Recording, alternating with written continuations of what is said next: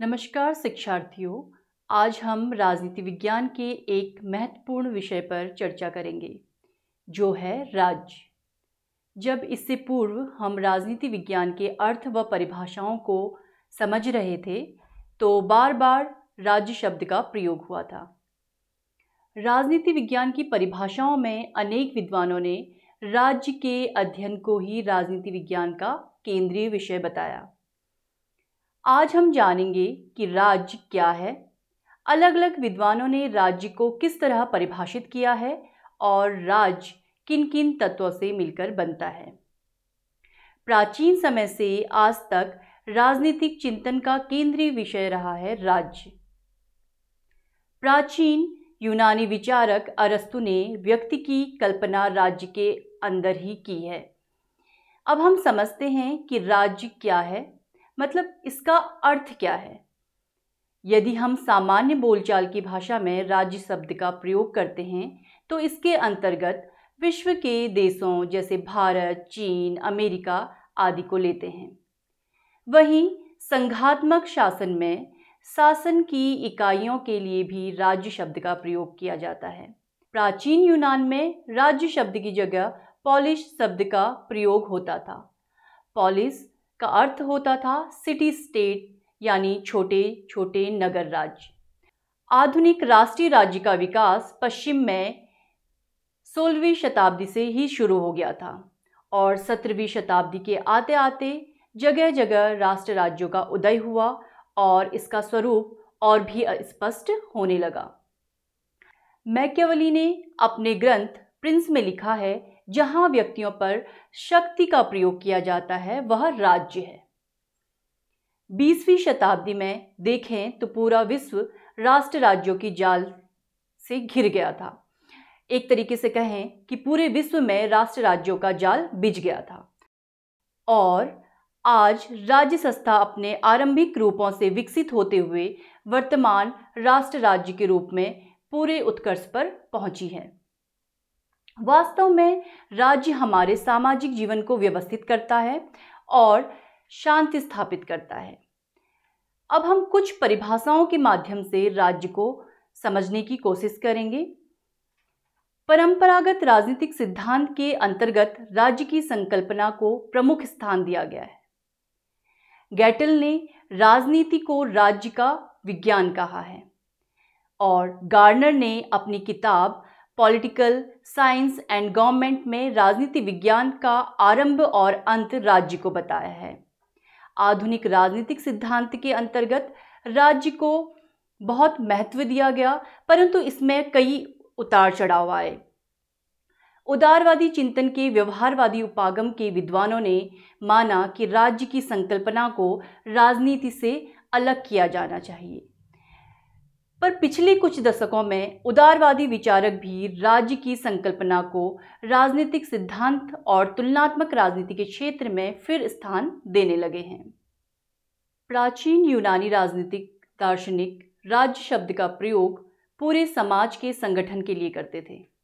सबसे पहले मैक्यावली ने सोलहवीं शताब्दी के शुरुआत में अपनी पुस्तक प्रिंस में राज्य शब्द का प्रयोग किया है। और राज्य की परिभाषा ऐसे सत्ता के रूप में की जो मनुष्य के ऊपर शक्ति का प्रयोग करती है। जर्मन समाज विज्ञानी मैक्स वेबर राज्य को ऐसा मानव समुदाय मानते हैं जो एक निश्चित भूभाग में भौतिक बल के विधि सम्मत प्रयोग का एकाधिकार का दावा करता है। मैकाइवर ने सोसाइटी एंड इंट्रोडक्शन एनालिसिस में लिखा है कि राज्य बाकी एसोसिएशन से इस आधार पर अलग है क्योंकि इसमें बल प्रयोग की अंतिम शक्ति निहित होती है। लास की तर्क देते हैं कि बाकी संगठन स्वैच्छिक होते हैं। वे व्यक्ति को तभी तक बात पाते हैं जब व्यक्ति अपनी पसंद से उसका सदस्य बनता है। परंतु किसी राज्य में रहने वाले व्यक्ति के लिए उसके आदेशों का पालन करना कानूनी रूप से ज़रूरी हो जाता है। अन्य सभी समूहों की तुलना में राज्य की सर्वोच्चता ही उसकी प्रमुख विशेषता है। Frederick M. वॉटकिंस ने राज्य की परिभाषा मानव समाज के उस हिस्से के रूप में की है, जो भौगोलिक सीमाओं से घिरा होता है, और किसी भी प्रभु सत्ताधारी के प्रति समान रूप से आज्ञा पालन के कारण एकता के सूत्र में बधा रहता है। वॉटकिंस ने प्रभु सत्ता पर विशेष बल दिया है। यह सर्वोच्च विधायी सत्ता का लक्षण है, जिसके निर्णय अंतिम होते हैं। अन्य सब मानव संगठनों की तुलना में राज्य की प्रमुख पहचान यह है कि इसके आदेश सर्वोच्च होते हैं। अरस्तु के अनुसार राज्य, परिवारों और गाँवों का एक संघ है, जिसके अंत में एक आदर्श और आत्मनिर्भर जीवन जीना होता है। जिसका अर्थ है एक खुशहाल और सम्मानजनक जीवन। राजनीति विज्ञान के अंतर्गत राज्य की एक विस्तृत परिभाषा फिल्मोर ने दी है।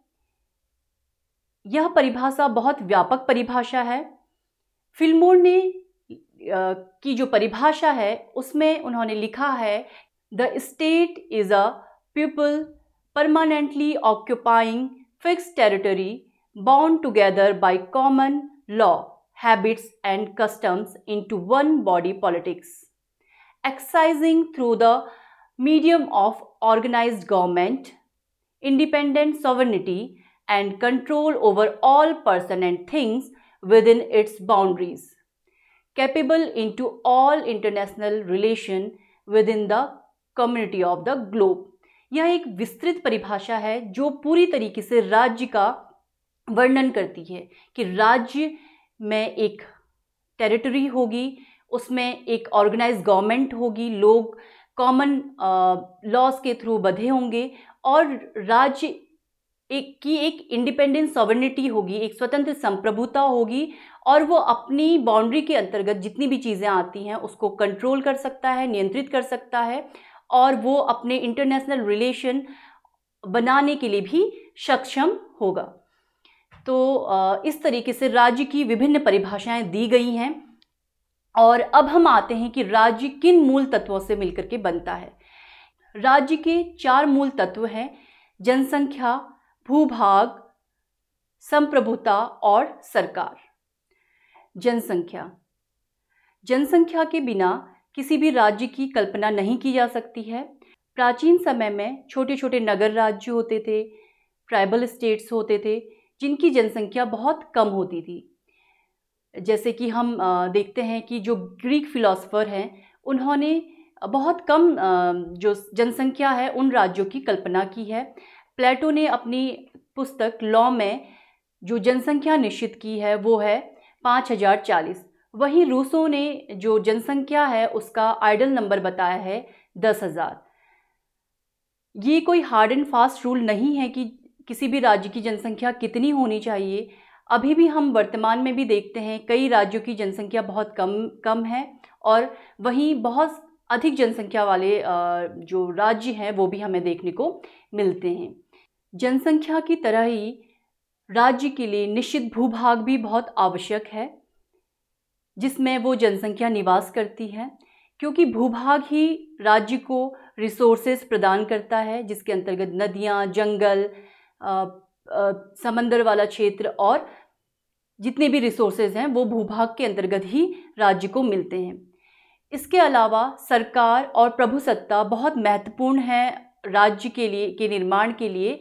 इन दो विषयों पर सरकार और प्रभुसत्ता क्योंकि एक विस्तृत विषय है, इस पर हम अलग से एक व्याख्यान देंगे। आज का जो व्याख्यान है, उसे हम यहीं पे समाप्त करते हैं। आशा है कि इस व्याख्यान से आप लाभान्वित होंगे। धन्यवाद।